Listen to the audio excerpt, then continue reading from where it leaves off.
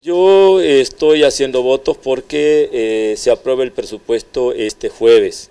La apuesta es aprobar el plan de gastos para el próximo año en la plenaria de esta semana. La iniciativa del presidente del Congreso es respaldada por la fracción de Gana como grupo parlamentario es que estamos listos para aprobar el presupuesto general de la nación y está en manos del resto de partidos políticos. Nosotros creemos que es un presupuesto ajustado a la realidad.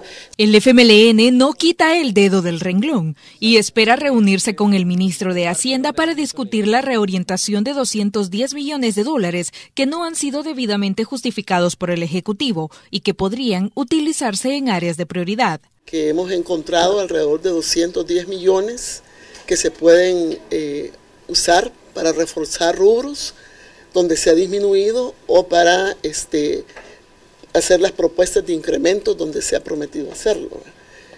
Eh, creo que eso contribuiría a resolver, ¿verdad? De aprobarse el proyecto de presupuesto como fue presentado inicialmente, la Fiscalía General de la República operará con un déficit de 40 millones de dólares. El jefe del Ministerio Público solicitó el apoyo de los parlamentarios para aumentar las asignaciones presupuestarias de la institución. Se le van a la Fiscalía se le van asignando cada vez nuevas atribuciones, nuevas responsabilidades, pero la realidad es que no contamos con los recursos para poder hacerle, hacerle frente compromiso en la Comisión de Hacienda ha sido eh, apoyar este refuerzo para el, Ministerio. Sí, estamos en esa discusión y lógicamente si queremos tener una apuesta estratégica, fortalecer nuestras instituciones principales, la Fiscalía es una de ellas. Entonces hay un compromiso de todas las fracciones que lo externaron de apoyar esa propuesta.